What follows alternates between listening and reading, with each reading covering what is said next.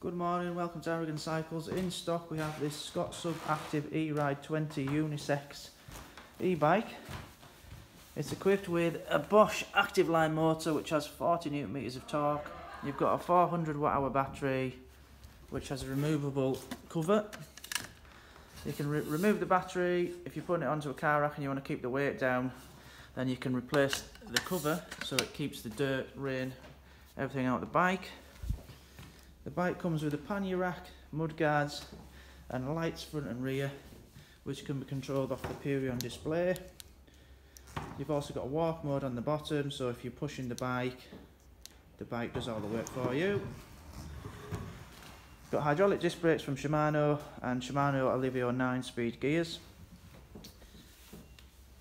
The bike comes in at £2,500. If you would like a test ride or a sizing or more information, visit the shop and one of our team will help you.